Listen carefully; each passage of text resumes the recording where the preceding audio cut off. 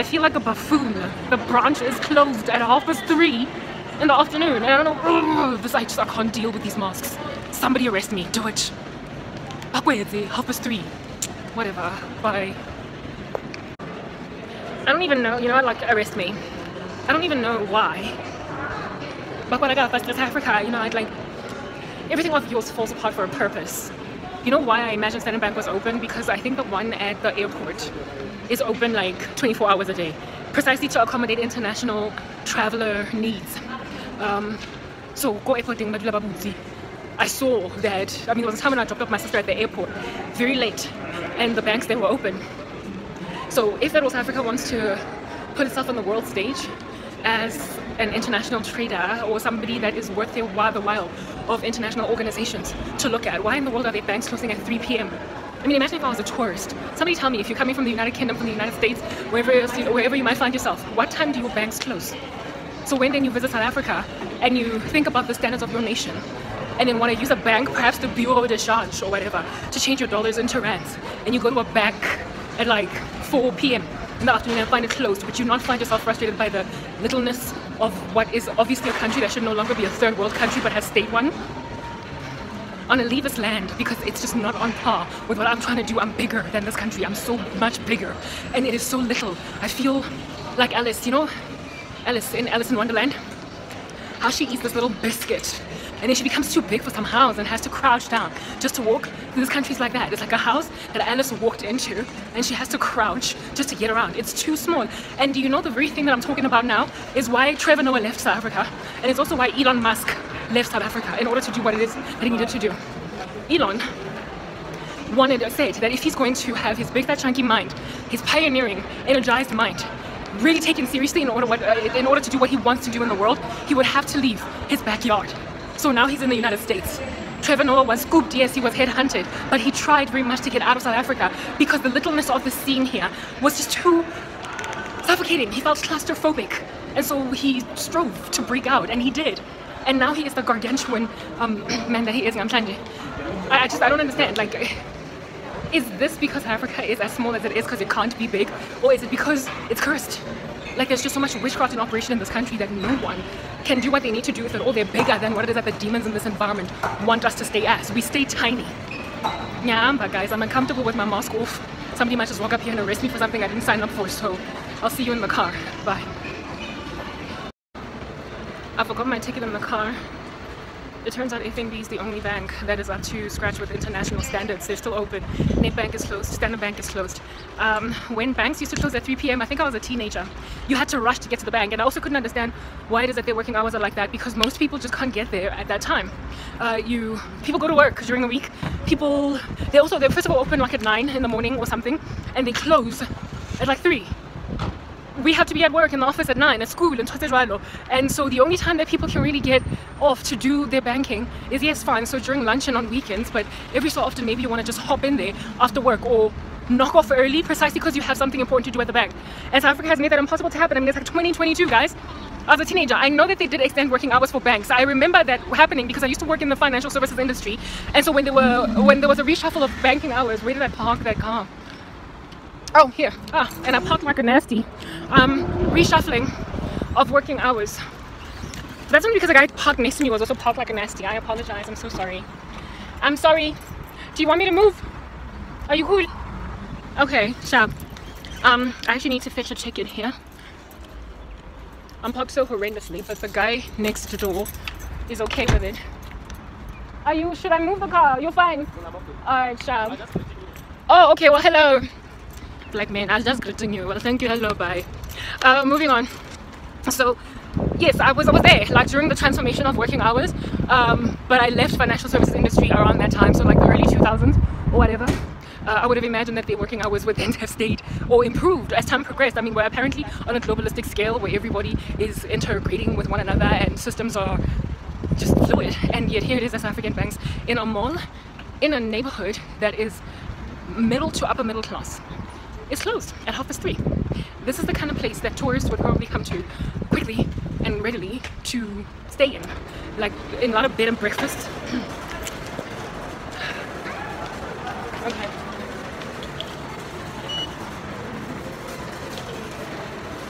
free parking. I chose it that way. Oh, sorry, sorry, sorry, sorry.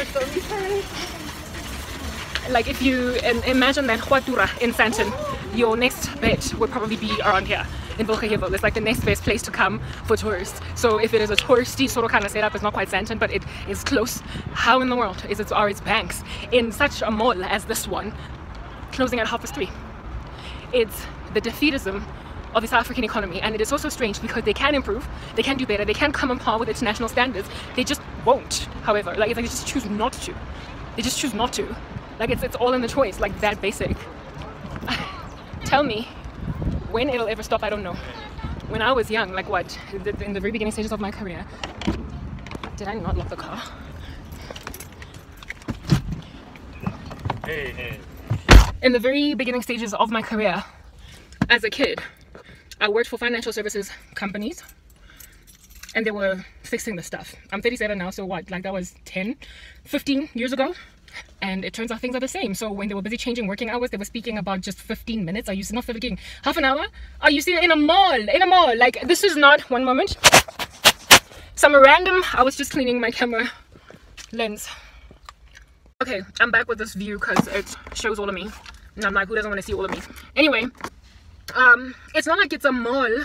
Sorry like some downtown joburg branch that uh you know the bustling nature of downtown joburg simmers down later on in the day because people go home. People don't generally stay in downtown joburg. They usually like branch out to the periphery like a spider's connection into the east west north and south of joburg etc so that that would make sense why it is that banks would close perhaps maybe at 4 p.m maximum there. But in, in in neighborhood and suburbia like where is that we're at right now and in a mall it's not a standalone branch chilling in some arbitrary spot. For them to close the bank at half past three are they literally trying to not make money? Are they literally trying to ward off tourists? Are they literally i mean proper we come out of like coronavirus ransacking of global economies and they're not even trying to recover by at least extending their working hours. I mean can you imagine? So coca-cola i know i can be laborious all right? Coca-cola i can be loquacious. I can speak for like ever and a day so if you want to click off don't okay? Like what? I'm interesting Coca-Cola uh, did a sneaky little funny thing to us a couple of years back where it is that the 340 milliliter um, can was reduced hmm, conveniently to 330 milliliters. I remember thinking the marketing manager, the uh, industrial engineer, the stock whatever, like the the, the the pricing modeler, like the people, the, the financial team of Coca-Cola. I remember thinking whoever came up with this is just brilliant, even though sneaky on the consumer. Sneaky, like I want my 10 milliliters. What are you doing to me, Coca-Cola? With my 10 milliliters, I can't deal. I can't. Give me back my 10 milliliters. But just the extraction of that 10 milliliters uh, from 330 to 40, sorry, to 330 milliliters, just that extraction.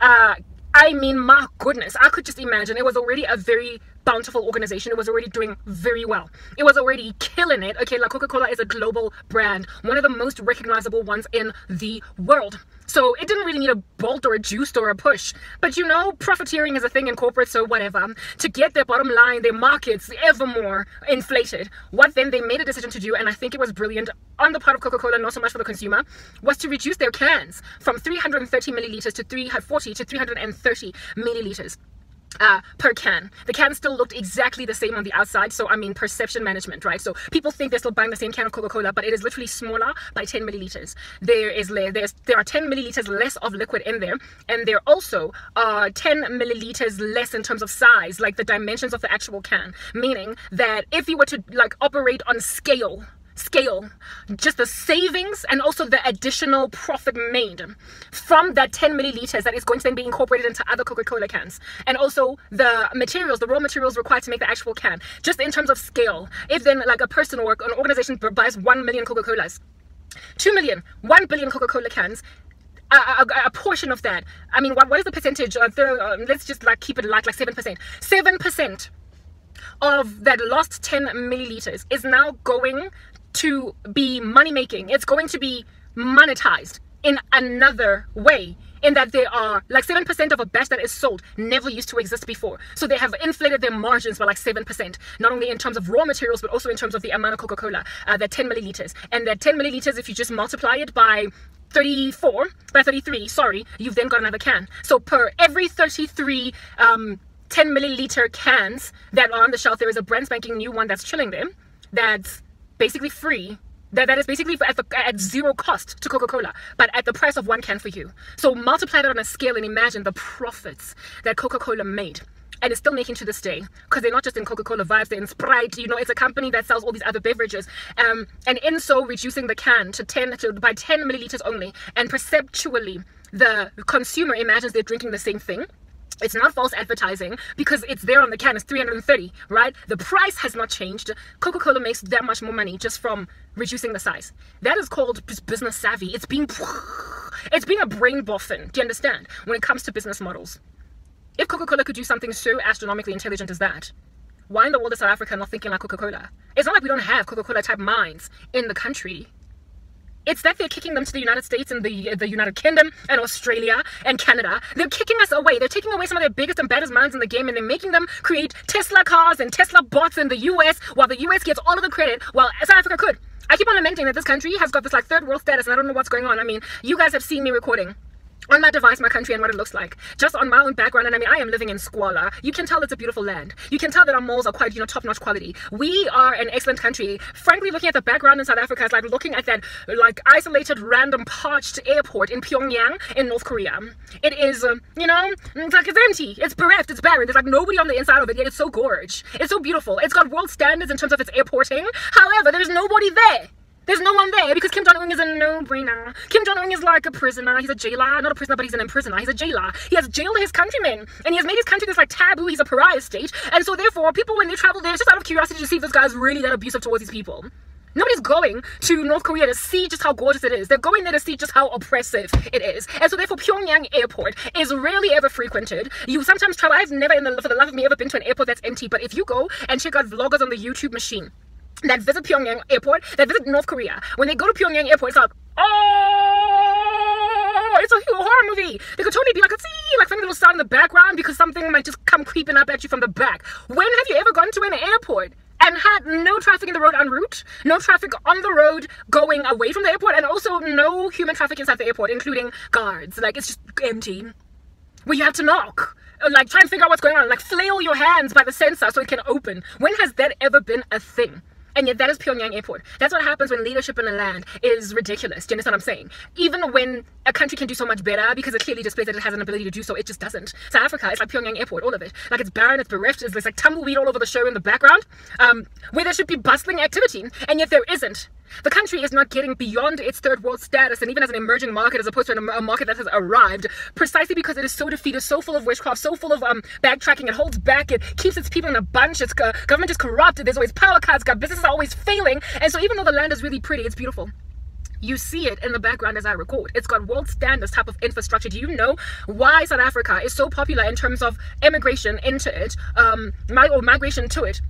From the rest of Africa, people in the rest of Africa. I, I, used to have this friend from Nigeria who said that the reason why he, he wants to get citizenship in South Africa is because the infrastructure here is great. Nigeria is the second, is the first, is the most um, lucrative economy. It is Africa's leading economy. So basically, you would think that why not stay in your country is better than South Africa. But they say the Nigerians that they want to come here because the infrastructure is so great. In other words, there's electricity. In other words, there's good roads. In Nigeria, just about everybody that has a car has a 4x4 because the potholes there are so ridiculous. So if Nigerians like to settle for South Africa because it's got better electricity and roads, it must mean that ours is, you know, animal farm all animals are equal, but some animals are more equal than others. Well, all African countries are equal, but some African countries are more equal than others when it comes to, to infrastructure. We all just are bust. We all suck, but others are better. South Africa is just better than Nigeria. We, I mean, I was lamenting about potholes en route here, but I'm driving a regular sedan vehicle, uh, and my car did not just kind of like land in there and just stay like a sinkhole because the potholes are not so gargantuan that it is impossible entirely to drive on the road without a 4x4. But they're there because the government is corrupt. So they are better than Nigerian potholes, but they're not quite at the standard of world driving in first world countries where you don't have to experience potholes. The only place where there are no potholes in this country are highways because it would be wholeheartedly dangerous. There would be so many car pileups and so many accidents on the highway. So they build highways properly, but all the inroads, like where it is that you do exiting from your own house to the highway, there you are going to be like ga ga ga ga ga ga. So this Nigerian friend of mine was like, I mean, really, in, in Nigeria we get power cuts that are like you could be in the dark for like five days with your electricity bill paid up. Almost everybody has a generator. So in South Africa, it's not five days, it's two hours. So for them, it's like it's better. So they come here and then they face xenophobia over and above their like, you know, other issues that they might experience over here. We are very xenophobic. We are also defeatist, and we could be Africa's leading economy, but we're not because of stupid things that we keep on doing. And on top of that, we could be declared the first country in Africa to essentially be first world as opposed to third world, and yet we're not quite getting there fast enough. Why was Nelson Mandela so famous and popular with Hollywood with celebrities, and yet all of that clout that he had did not come on right ahead and make out of all of us a better thing? What the world is therefore doing is just scooping up South Africans and taking them on some. Since you're treating them like randos, I'll take them. They took our Trevor, they took our Elon, they took our Charlize, and they will keep on taking them. They're gonna take your Karabo, okay? I'm gonna leave. I was about to say they took our Doja Cat, but Doja grew up in the US. However, her daddy's South African and he's a deadbeat dad while he's at it. So I, I just like I don't get what's going on up in this monster, except I do get it. You love witchcraft. You inducted South Africa into the new democracy through the Illuminati, and so that is why everything is falling apart. We are an experimental hub. We are like Raccoon City and Resident Evil, some place in Africa to experiment on. We're supposed to be better. We're supposed to have bigger and better things. The rest of Africa even admits that it is better to be here than where it is that they're at infrastructurally anyway. Yet there are countries around South Africa that are poorer than us and yet whose economies are growing faster than us. So obviously we've got a problem out here in these streets and I'm out here trying to highlight what that issue is. La Loya, you are witches and you are into sabotaging your own economy. And while 20 years is a small amount of time in the grander scheme of things when it comes to redevelopment of a country after it comes out of a apartheid, it certainly is enough time to improve so much so that others can be like South Africa is really on the come up, it's doing well, it's no longer just an emerging market, but it's basically arrived. Like it's been 30 years since the new democracy, the new South Africa or whatnot. And we are still an emerging market. I don't get that. Why are we still an emerging market? And why are we third world when we have got first world infrastructure? It's because our electricity keeps on puffing up, blowing up as steam all up in our grill. It's because our um roads still have potholes on the in uh, in the inroads. It's because neighborhoods that are black for the majority of the time, even though our government is black, so it's like an Uncle Tom, are entirely disregarded. And these are neighborhoods, mind you, that are tourist attractions like Soweto. Soweto is the most popular township in, no, never mind South Africa, but Africa. It is the most popular township in Africa. It's right where Nelson Mandela grew up in the Cranberry Kay, over here. Okay, Soweto, you would imagine they would give much attention to it because of the level or the amount of tourist attraction or the amount of magnetic power it has for tourists. And yet, if you go to the Kasi, okay, if you go to Soweto, my goodness, they uprooted in Old Potch, the road where Baragwanath Hospital is at, the most, I guess, popular hospital in Africa. My goodness, they operated robots there. You know that intersection in Rockville with like an, a roundabout and yield signs as opposed to robots while they had also built a Rea Vaya track there. And I'm like, Rea Vaya is like for a bus, busing system, right? And I'm like, why would you take robots away? Everybody knows that at a four-way stop, everybody moves a lot slower than when it's a robot. Why would you take it away in the busiest jugular road in Soweto? It's literally the jugular of Soweto. It is the one road that leads into all of Soweto. Like if you're an Old Potch, you are going to Kadi Soweto, you're going to Meadowlands, you're going to Dobsonville, you're going to Rockville, Dlamini. You are going everywhere in Soweto from that one jugular. And they took away robots from certain parts, chock blocking it even more. What is going on there? What is happening? Somebody tell me. It's a curse. It is written in God's word that the Lord will confound the speech of the wicked. It is written, oh my goodness, I need to drive out. Lest this ticket should like reject me when I get to the thingy because I've already um, put it in the slot machine there type thing. Uh, this here is a problem of spiritual proportions. It is literally a defeatism of a country induced in it by the prince of the power of the air who has come to steal, kill, and destroy. While Christ has given all of us life and life abundantly, but you refuse to acknowledge him. The Lord has a thing, a bone to pick, guys, with lukewarm Christianity. More than he has a bone to pick even with atheism. I'm not going to ram into you, guy. I'm a good driver, okay? Um, more than he has to pick with atheism or perhaps even relay, uh, worshipping other gods. Because you are claiming to be disciples of the Lord Jesus Christ when you are not. South Africa apparently has got 78% of Christians all up in it, okay? Allegedly apparently south africa has that as, as as as like its statistic something to boast about a nation that loves god. But it isn't. It's lukewarm and so god is spitting it out of his mouth. This nation is not truly regenerate is not truly born again. It is however claiming to be that way while also persecuting the servants of the living god. So what does god do to such arrogant and pompous structures? He confounds their speech. He makes their intelligence no more. He makes them fools. He makes them listen to false prophets guys. Thank you. Are you letting me in? I guess not. Okay fine then go uh, he makes them listen to uh, false counselors. He makes you take the uh, advice of Baal prophets as opposed to Micaiah. And then go you grab Micaiah, Karabo, hello, what's up, what's good, right? And you make her eat meager portions of bread and water because she prophesied accurately about the fact that you're going to die in battle tomorrow or something. Because your name is Ahab. That is South Africa. When you are a nation that is supposed to love God, I don't eat Israel, but you serve idols your punishment is exorbitant. It is worse even than nations that just don't even regard God at all. That's why China is as prosperous as it is, albeit being as God hating as it is. It's never claimed itself a God servant. It's never claimed itself God's disciple. It has never claimed itself as a Christian nation. And so, because China has never ever claimed itself a Christian nation, it's doing very well. Not that God is blessing them for their idolatry, but the Lord is certainly not punishing them for their hypocrisy. South Africa is being punished for its hypocrisy. And you are sitting where you are sitting as a nation with beautiful infrastructure, great parking lots, and in, in, in what do you call this, in malls and banks that close at 3.30 when they are close to tourist destinations. I, for the life of me, do not know what's going on. The slowness of this country to progress is beside me. I don't get it because we should be doing a lot better. Our universities are not half bad. Like literally, we've got really great edu educational structures. We've got good people. Look at me, please. Like I'm great. We've got really skilled people up in this joint. Very intelligent minds for eons and decades. But they're suffocated. They're squelched. They're stymied. They're harassed and sabotaged. They are finding themselves unable to fulfill their legacies. Their businesses are being thwarted by a failing economy when it should be the best one in Africa, and yet it's gone on to be bumped down to number two. Please take my ticket. I can talk for days. No car detected. That is not true. Yay! Yeah. I almost like I was not able to get out because of how long I was speaking in the car. That is this nation. That is South Africa. The Lord has said, I know your works. You are neither hot nor cold. And because you're lukewarm, I'm going to spit you out your mouthful. I'm not to spit you out my mouth mouthful. That is what God is basically saying to South Africa. You have a reputation for being alive, but you are dead. You have a reputation. Listen, literally, you got out of apartheid through the glory of the Most High. Okay?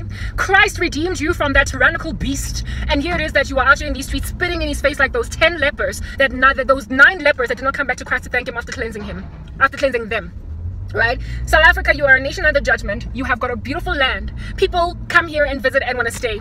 And then they realize, which my goodness, do I really want to stay? Because if you stay for longer than just 10 seconds in this country, you start to feel the blow of all of the indiscretion on the ground. People in this country are defeatist. They thwart one another. I am such an excellent freaking South African, okay? I was supposed to do excellent things in this country.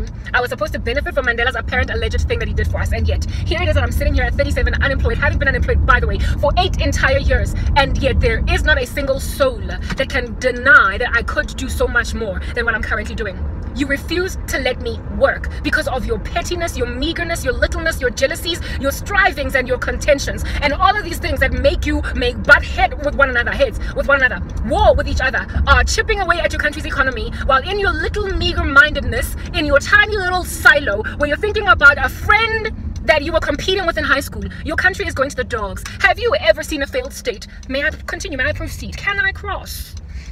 I guess not. I am right now doing a four-way stop at a robot because you know South Africa has cut the power again. Do you, South Africa? Do you? Okay. Whatever, Zinja dogs, I'm done, like proper. I will no longer bark like a dog. I won't. But I shall speak like a person, and I'm not going to stop doing that. Listen, this country is dying a slow and painful death, even though it ought not do so.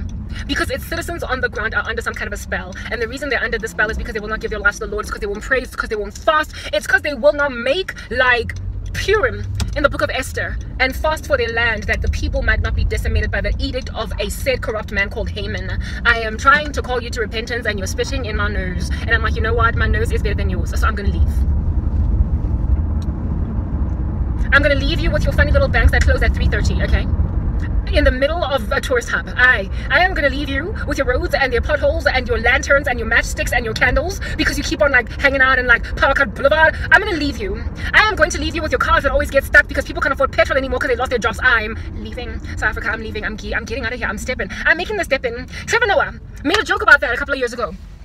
Trevor made a joke about how it is that uh, the, the, whites of this country after Nelson Mandela became president were like, oh my goodness, it's gonna be gangster. I'm going to Australia, I'm going, I'm leaving, I'm going. And they did. My oh my, how they immigrated to Australia. And we were like, bye bye, au revoir. We've got for ourselves a rainbow nation. Ain't nothing you wanna do to us over here. Well, we're gonna kill it. And Trevor Noah, my goodness. It was a joke back then. Now I bet he's just having a little bit of a sour, sour moment of, you know, insight, a moment of reflection on some.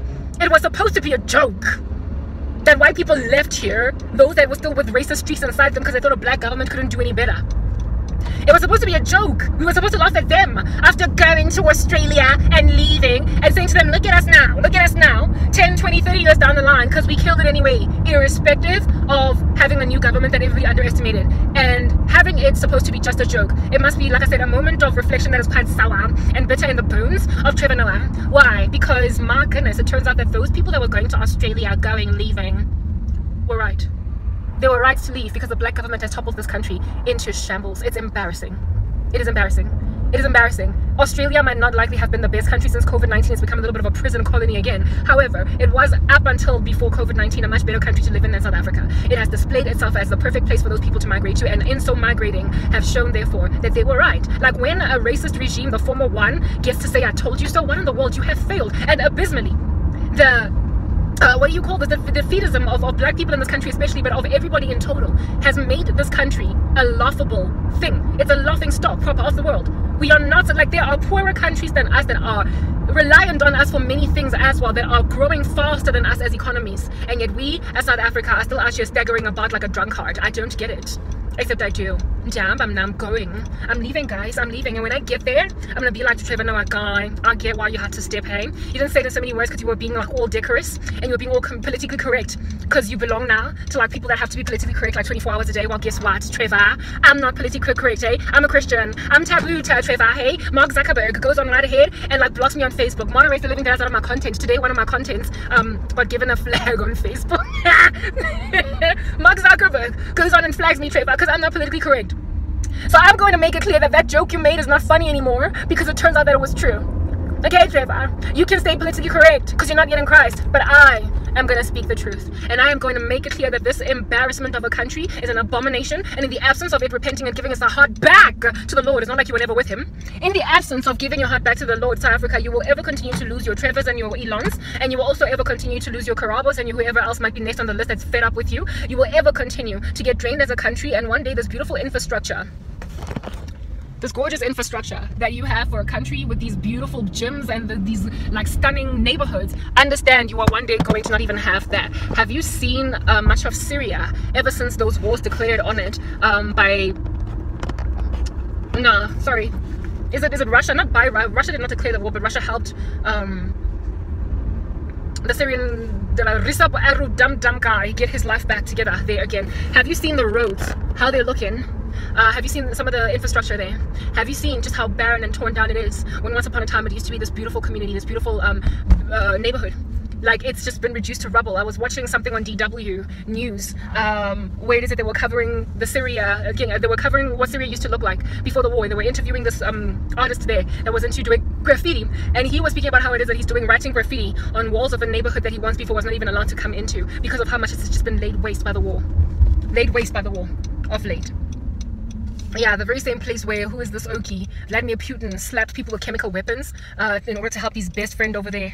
Uh, I don't know, man. Recep Ediwan is a Turkish guy. The other one, Oli. Yeah, that one. What's his name? Erdogan. Nah. Recep is the right dude. Erdogan is the Turkey guy. I don't care. At this point, they're all just doing a nasty little thing and they must stop. Okay? So what their names are is somewhat irrelevant. Listen up. Syria is looking like what it's looking like right now. And things are going to get even worse because Damascus is one of these days going to become a heap of ruins. Now, a nation that has got beautiful infrastructure and beautiful everything that does not honor God, like many of the nations in the Middle East, ends up having beautiful neighborhoods turned into a heap of ruins. Okay, in South Africa, that gorgeous mall that I come from now, Clearwater Mall, and this beautiful neighborhood and this green patch of gorgeous land next to me right now that I'm driving by that is absolutely scenic for me to gaze upon. All of that which you are looking at right now with me driving with my one hand and I'm going to get arrested for it. Understand it's going to be gone. No longer are there going to be vehicles able to drive into this neighborhood going home or going from home or doing what they need to do. Uh, feeling like, oh, I'm about to rest, chill, watch something on Netflix and kill it, right? Their day is going to arrive if you don't repent and give your life back to the Lord, South Africa. Hey, dude, I'm going in. The day is going to arrive, okay? When this beauty, when the glory of this like green neighborhood, which by the way is not true of Soweto, who in the heaven understands why there are no trees, Kokasi, I don't know. This beautiful, gorgeous neighborhood that you're watching me drive into right now is going to be a ruinous heap. And graffiti artists are going to be able to draw on walls like they did on that uh, bin wall on the electricity uh, uh, gasket joint, whatever. You get my point. Uh, the day is to arrive when literally the, the glory of all of this, all of this is to be no more. Because as a country, I apologize, I'm, it's like the tantamount of drinking and driving, what I'm doing right now. The glory of your neighborhoods is going to be no more. Because there will have been bombs that landed, all different kinds of infrastructural destroyers, like war, they will have landed because your country will not have covered itself with the strong might of the fortress who is Christ. The name of the Lord is a strong tower. The righteous run to it and they're safe. That's what God has to say. So when a country is righteous, they like Israel. Have you seen Israel? Even though he's always all up in his grill trying to come at it, right? Um, it's nonetheless a cup of trembling. It's a cup of trembling. Yes, they have not honored God, but they are the apple of God's eye and the world's timepiece, prophetic timepiece. And God's going to go back and get his people. So Israel is guarded, it's protected, it's beautiful. It's still really gorgeous. It is this thing, it's the, it's the only democracy in the Middle East. And it is the most beautiful country, frankly, in the Middle East. That's why everybody wants it so badly. That's why everybody's really fighting the Israelites for the Golan Heights. It's theirs. Like, please, like, God gave them the land flowing with milk and honey. It's theirs. But everybody's actually in denial busy making all that war there by the Gaza Strip, Palestine. Stop. It's Israel's, right? And God is going to ultimately give those territories back to God. Those people who try to partition his land and like spoil it, blunder it like they did with his clothes um, when he was busy dying. God is going to give them back their land, all of it, including the Golan. The Golan Heights are already Israel's, okay? Jerusalem is Israel's. It's nowhere to be found in the history books of, um, what do you call this? Oh, the sun is all up in my grill. It's nowhere to be found uh, in the history books of in, in, the Quran. Like it's not mentioned anywhere in the Quran, and yet the Quran claims that Jerusalem belongs. The Muslims are claiming that Jerusalem is theirs, whereas Jerusalem is uh, Jerusalem is mentioned I don't know how many times in the Bible, right? Whereas it's not found anywhere mentioned in the Quran, and yet Muslims are claiming that Jerusalem is their capital, their city, their whatnot. They want to go and grab it and call Tel Aviv the capital of Israel, which is not true. Like no, please, Tel Aviv is in Israel, but it's not the capital. Jerusalem is the capital. They want to grab the Golan Heights for all of that oil and gas all up in there, and then they also want to go and grab the Gaza Strip. Fine, whatever. Do what you want to do. You're going to fight until the Lord rocks up and takes the Gaza Strip back. Says Golan is theirs, and so is Jerusalem. Couple of trembling. Don't mess with God's people. So the same way that God got the back in the territory of Israel, so too does he have the back, therefore, of those that have given their lives to the Messiah that the Israelites rejected. Okay, Christians, I am like the Golan Heights, or the Gaza Strip, or or Jerusalem. People out there in these streets trying to claim me as their owner. I belong to Jesus. Hey, I've been given to God's people, nah. Hey, I'm not gonna marry an unbeliever.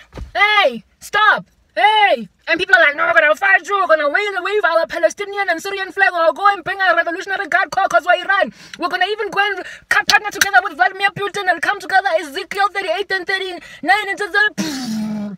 And then God's gonna bring an earthquake and be like, no, okay, what are you doing? She's my daughter, and you don't get to go out like that. I will, however, make her like, like Jerusalem a cup of trembling. You will shake in your pantyhose, okay? You will stumble about like a drunk man, and then you will eventually acknowledge that Karabo is God's. In the same way that the Golan Heights are Israel's. Um. So South Africa, if you don't want to give your lives over to the Lord, you're not going to have that protection. But nah, as for me alone, I will make like a lotto. I won't leave you. Eh, I'm going to leave you. You don't live in South Africa. I'm sick and tired of all people. Nobody wants to live here in this environment, in this country. I'm very clever. People acting like I'm stupid. Eh, what's I'm doing thing? I'm not going to handle you. I'm living, no. I'm living. I'm not going to have problems. 24 hours zero for what? For what?